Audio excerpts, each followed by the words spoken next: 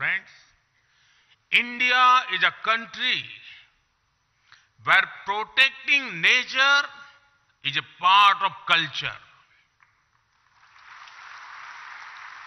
This is why it has many unique achievements in wildlife conservation. With only 2.4% of the world's land area, India contributes about 8% of the known global diver- diversity. India is the largest tiger range country in the world. With nearly 30,000 elephants, we are the largest Asiatic elephant range country in the world.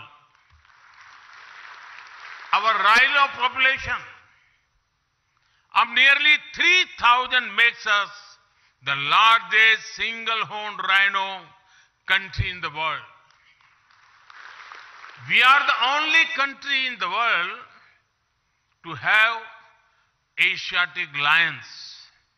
The lion population has increased from around 525 in 2015 to around 675 in 2020. Our leopard population went up by over 60% in just four years. The work being done to clean up rivers, such as the Ganga has helped biodiversity. Some aquatic species that were considered to be in danger have shown improvement. These achievements are all due to people's participation and culture of conservation. Sabka Prayas.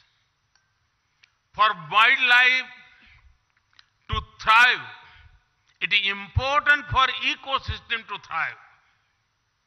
This has been happening in India. While celebrating 75th year of independence, India added 11 wetlands to its list of Ramsar sites. This took the total number of Ramsar sites to 75. Forest and tree cover are also increasing.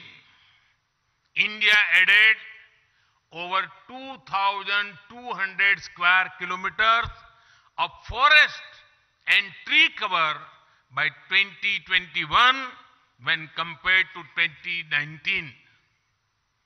In the last decade, the number of community reserves increased from 43 to over 100. In a decade, the number of national parks and sanctuaries around which eco-sensitive zones were notified increased from 9 to 468.